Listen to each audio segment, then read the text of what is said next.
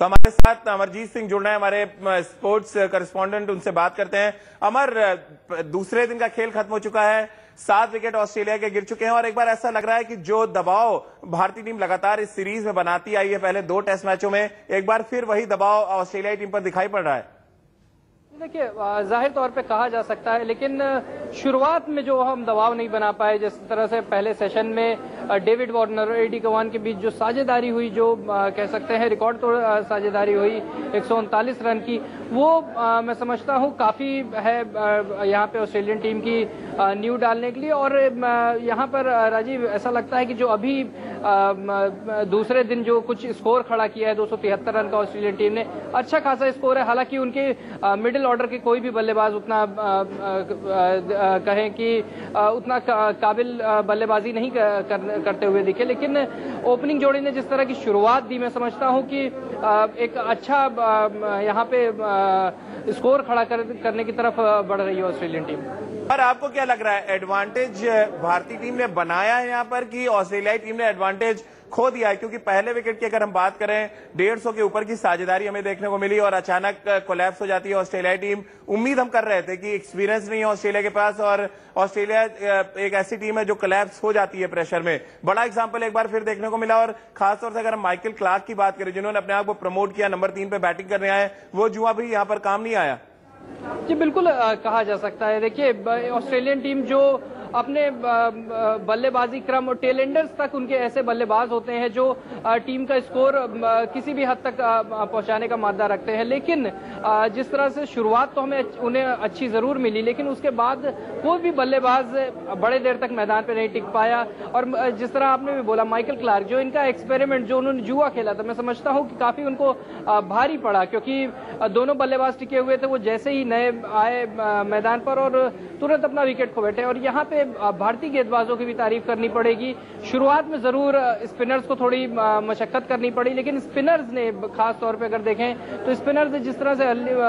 Break through दिलाया है यहाँ पे मैं समझता हूँ कि जो शुरुआती जोड़ी हमने तोड़ी है उसके बाद से ही हमने कोई बड़ी पार्टनरशिप नहीं होने दी है। उसके बाद कोई भी ऐसी पार्टनरशिप 50 रन के ऊपर के पार्टनरशिप नहीं हुई है। तो ओवरऑल यहाँ पर रविंद्र जडेजा की बात करेंगे राजीव एक सरप्राइज़ पैकेज वो नज़र आ रहे हैं पूरी देखिए सीरीज़ अमर अमर रविंद्र जडेजा पे हम आएँगे वापस उनके बारे में बातचीत भी करेंगे उनकी उंगलियों के जादू के बारे में बात करेंगे। जिस स्पीड के साथ वो गेंद डाल रहे हैं वो भी एक इंपॉर्टेंट फैक्टर है। लेकिन बात हम यहाँ पर अभी ऑस्ट्रेलियाई बल्लेबाजी की, की कर रहे हैं और जिस तरह से फिलिप ह्यूज लगातार स्पिन गेंदबाजी के सामने ऐसा लग रहा है उनको बैटिंग करना नहीं आ रहा है। जिस तरह से बैट वो आगे फेंक रहे हैं लगातार आर अश्विन के, के सामने बिल्कुल ऐसा लग रहा है कोई स्कूली बच्चा बैटिंग कर रहा है। आपको लग रहा है जो नंबर तीन या नंबर चार का जो स्लॉट है ऑस्ट्रेलियाई टीम सही बल्लेबाज पिक नहीं कर पाई इस ऑस्ट्रेलिया अगर भारत दौरे की हम बात करें तो?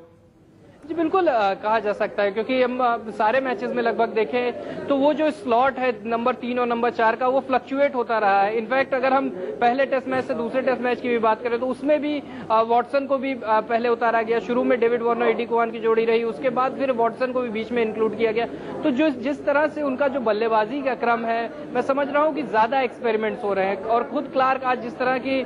जुआ खेले हालाँकि उनको काफ़ी महँगा पड़ा तो लगातार जो एक्सपेरिमेंट्स हो रहे हैं वो अभी तक अपने बल्लेबाजी का क्रम नहीं समझ पाए हैं। कौन सा बल्लेबाज उनको किस आ, आ, आ, प्लेस पे खिलाना चाहिए मैं समझता हूँ कि अभी तक उसमें कमी और शायद यही बड़ी वजह है कि ऑस्ट्रेलियन टीम लगातार इस टेस्ट हमारे एक बड़ा इंपॉर्टेंट फैक्टर हम देख रहे हैं यहाँ पे ग्राफिक्स हम देख रहे हैं सामने। पहले सेशन की बात करें 109 रन बनाती है ऑस्ट्रेलियाई टीम और उसके बाद न सिर्फ़ रन रेट नीचे आता है, बल्कि विकेट्स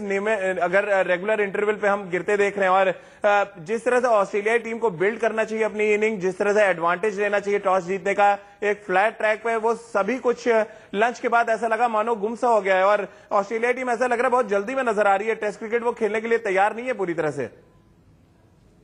कहा जा सकता है क्योंकि जिस तरह की उन्हें शुरुआत मिली मैं समझता हूँ इससे अच्छी शुरुआत उन्हें नहीं मिल सकती। जितनी सदे हुई बल्लेबाजी की यहाँ पे एडी कोवन और डेविड वार्नर ने एक अच्छी बल्लेबाजी की लेकिन उसके बाद जैसे विकेट गिर, गिर, गिरते गए कोई भी अच्छी साझेदारी देखने को नहीं मिली। हालाँकि ईडी कुवान बड़े देर तक मैदान पर ज़रूर टिके रहे उन्होंने जो कुछ साझेदारी की लेकिन ओवरऑल देखें यहाँ भारतीय स्पिनर्स ने काफ़ी हद तक डोमिनेट किया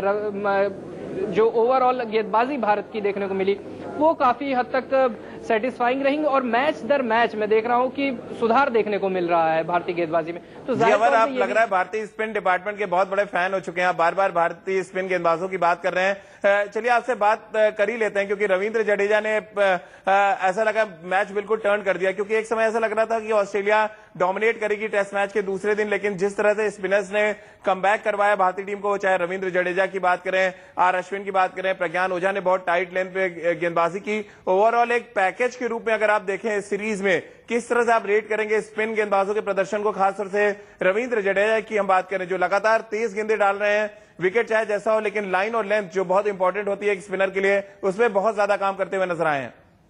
जी बिल्कुल आ, कहा जा सकता है क्योंकि रविंद्र जडेजा एक आ, फुल टाइम स्पिनर नहीं है लेकिन जो एक सरप्राइज़ पैकेज के तौर पे आए पूरी सीरीज़ में हम उनको देख रहे हैं वो कुछ ना कुछ करिश्मा करते हुए नज़र आ रहे हैं और जिस तरह की स्पीड की बात की आपने जिस स्पीड से वो गेंदबाजी कर रहे हैं क्योंकि वो जो क्रम पूरा अभी मैच के मैच के बीच में क्रम दिखाया जा रहा तो कि रविंद्र जडेजा जिस तरह लाइन लेंथ पे गेंदबाजी कर रहे हैं, उनको ज़ाहिर तौर पे उस लाइन लेंथ पे अगर बल्लेबाजी